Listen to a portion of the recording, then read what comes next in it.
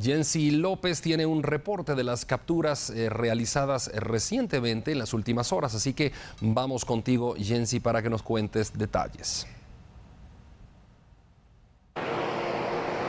Tardes, efectivamente se ha generado información importante en temas de seguridad y de salud en nuestro país.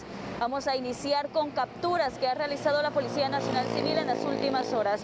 De acuerdo con información proporcionada por las fuerzas de seguridad, Daisy Elizabeth Vázquez Pérez, de 19 años de edad, fue capturada por los uniformados en la colonia Piedras Negras, esto en Santo Tomás de Castilla, Puerto Barrios y Zabal. Esta mujer es señalada del delito de plagio o secuestro porque supuestamente ella junto a su esposo, quien ya fue detenido, estuvieron detrás del secuestro de una persona de 72 años de edad, hecho que se registró en Mazagua, Escuintla, en mayo pasado.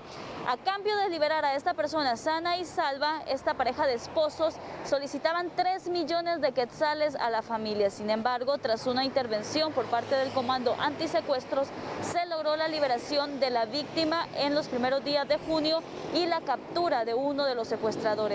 Hoy entonces se reporta la aprehensión de la segunda implicada en este caso de secuestro de una persona de 72 años de edad, quien fue liberada en Santa Rosa. Ahora bien, nos vamos a trasladar al departamento de Retaluleu porque las fuerzas de seguridad reportan la captura de dos presuntos mareros quienes minutos antes habrían asesinado al piloto y ayudante de una unidad de transporte colectivo. En este caso se daba a conocer que los detenidos fueron identificados como Douglas Amílcar Méndez Barrio de 24 años y Noé Antonio Monterroso Cruz de 20, presuntos integrantes de la Mara 18 y quienes residen en Villanueva, según la información que se nos ha proporcionado. Ellos eh, fueron capturados por agentes de la Policía Nacional Civil en un terreno boscoso ubicado en la colonia Santa Elena de la Cintal Retaluleu. A ellos se les incautó un arma de fuego, la cual tiene reporte de robo con eh, fecha específicamente 20 de febrero en la zona 1 capitalina. En este caso se daba a conocer que los sicarios se acercaron a la unidad de transporte y en reiteradas ocasiones en contra del piloto y el ayudante de este autobús.